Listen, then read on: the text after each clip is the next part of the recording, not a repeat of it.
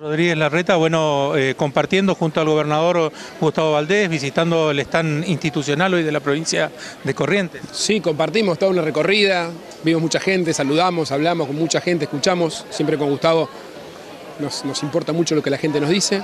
Fuimos a ver el stand de Corrientes que estaba lindísimo, me regaló unas alpargatas que me dicen que son las mejores de todas, así que vamos, las voy a probar.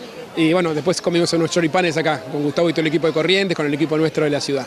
Fundamental esto que usted dice, escuchar eh, más en este ámbito. Muy importante, sobre todo acá el campo, ¿viste? que tiene tanto potencial, tanta energía, tantas ganas. Lo, lo vamos a apoyar en Corrientes, es muy importante. Gustavo le da mucha, mucha manija al campo. Bueno, eso mismo debería pasar en todo el país.